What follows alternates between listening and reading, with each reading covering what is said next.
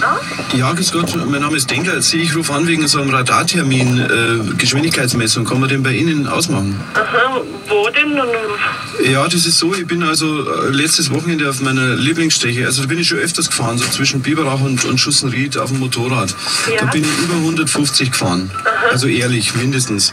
Und habe da noch nie einen Strafzettel gekriegt. ja? Und jetzt wollte ich mal anfragen, äh, das kann erstens gar nicht sein und ob man da nicht irgendwie einen Termin ausmachen kann. Aha. Haben Sie Aktenzeichen oder irgendwas von uns? Nee, ich habe noch nie was gekriegt. Ja, und jetzt haben Sie was bekommen, oder? Nein, eben nicht. Ich möchte ja, wissen Sie, es geht um eine Wette. Ich habe da gewettet mit ein paar Kumpels, dass ich da ein Foto bringe, wo ich mit dem Motorrad über 150 fahre und habe auf meinem Helm also ein Hirschgeweih draufgeschraubt. Und ich brauche halt das Foto.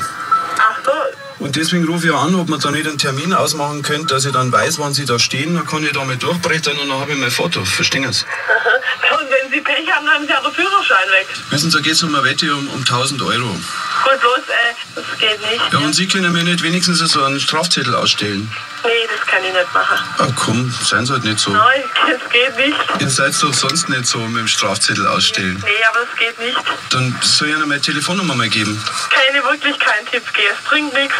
Okay, dann vielen Dank. Ja? Hören Sie immer den Radarfunk im Radio? Immer wieder, ja? Sie sind jetzt nämlich auch im Radio. Hier ist Radio 7 der Telefonchef.